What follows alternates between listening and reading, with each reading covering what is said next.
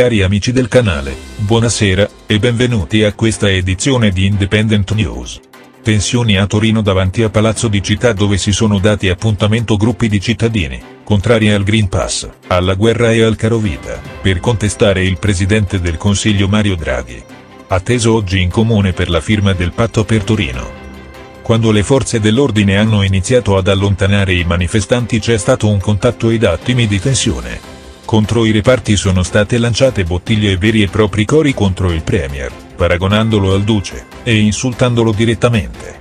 Tra gli slogan insulti, e un coro inequivocabile, Draghi, Draghi, vaffa.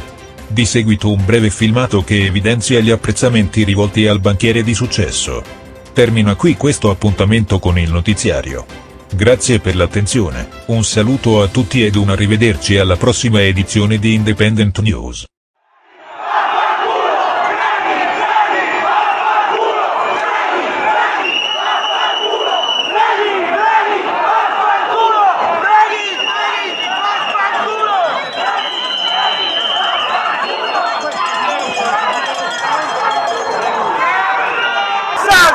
Assassino!